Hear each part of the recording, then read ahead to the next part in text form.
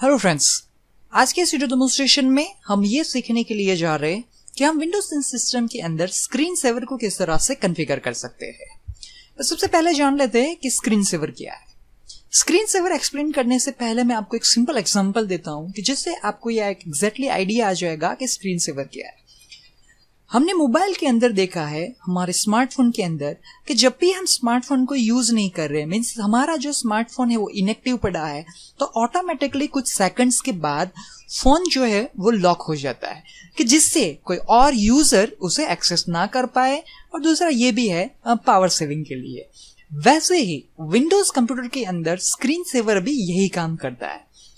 अगर आप अपने कंप्यूटर को एक्सेस नहीं कर रहे हो तो सेवरल टाइम के बाद, यानी कि कुछ मिनट्स या आप स्पेसिफाई कर सकते हो टाइम इंटरवल कि उतनी इनेक्टिविटी के बाद अगर कंप्यूटर ऐसे आइडल पड़ा हुआ है, वहाँ पर कोई भी एक्टिविटी नहीं हो रही है तो मैं चाहता हूँ कि मेरा कंप्यूटर ऑटोमेटिकली जो स्क्रीन है, उसको लॉक कर दे और वो स्क्रीन सेवर मोड के अंदर चला जाए।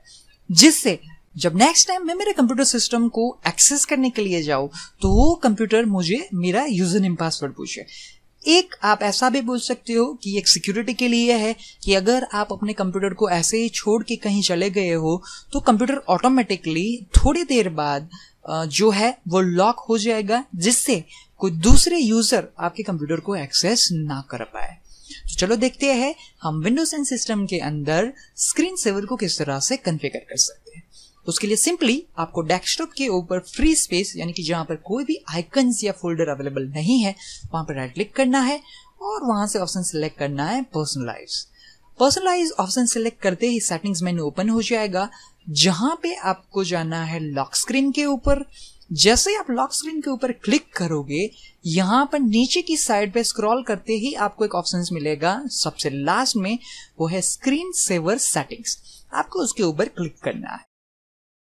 जैसे आप उसके ऊपर क्लिक करोगे एक और कंसोल ओपन हो जाएगा जिसका नाम है स्क्रीन सेवर सेटिंग्स यहाँ पर स्क्रीन सेवर के अंदर बाय डिफ़ॉल्ट जो ऑप्शन सिलेक्टेड है वो है नन सो मैं यहाँ से ड्रॉप डाउन मेनू पे क्लिक करके ऑप्शंस uh, देखते हैं कितने ऑप्शंस अवेलेबल है? तो हमारे पास है three D text blank bubbles mystify photos अगर आप स्लाइड शो सेट करना चाहते हो तो वो भी पॉसिबल है और रिबन्स है. हम इस डेमोन्स्ट्रेशन के लिए यूज़ कर रहे हैं थ्री डी टेक्स्ट और यहाँ पर आपको दिखाई दे रहा है कि ये जो स्क्रीन सेवर है, वो एक्सेक्टली दिखेगा कैसा। अगर आप अभी प्रीव्यू देखना चाहते हो तो उसके लिए आप यहाँ पर क्लिक कर सकते हो। बट हम पहले सेटिंग्स को देख लेते हैं। इसके लिए मैं क्लिक करता हूँ सेटिंग्स मेनू के ऊपर, और यहाँ पर है टेक्स्ट आप कौन सा टेक्स्ट वहाँ पर रखना चाहते हो?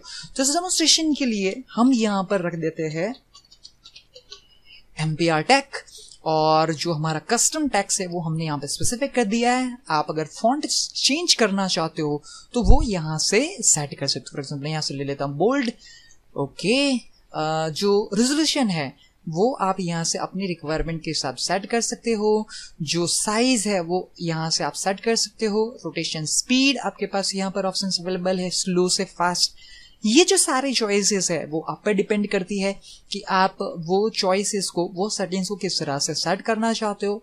यहाँ पर है रोटेशन टाइप जो है स्पिन सीशो वॉबल्स और टम्बल हम स्पिन ही रखना चाहते हैं। कुछ और भी ऑप्शन यहाँ पर अवेलेबल है। सरफेस स्टाइल कैसी रहेगी?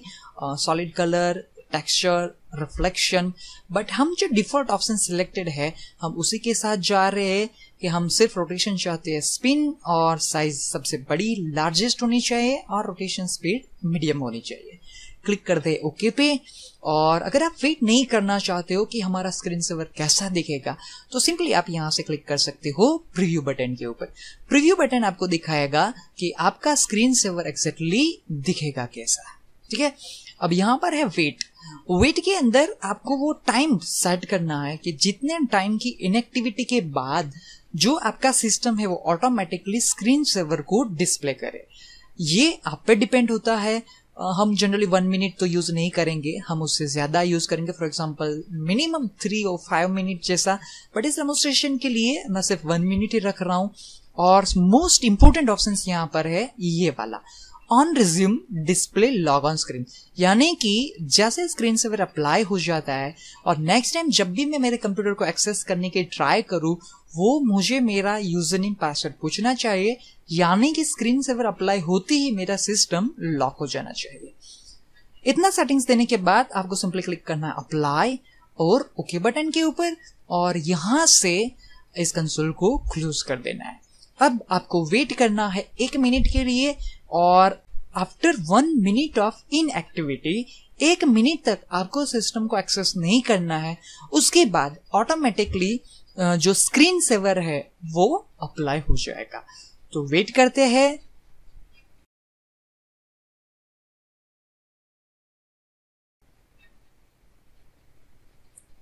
और जैसे आप यहाँ पे देख रहे हैं कि जो स्क्रीन सेवर है, वो सक्सेसफुली अप्लाई हो चुका है।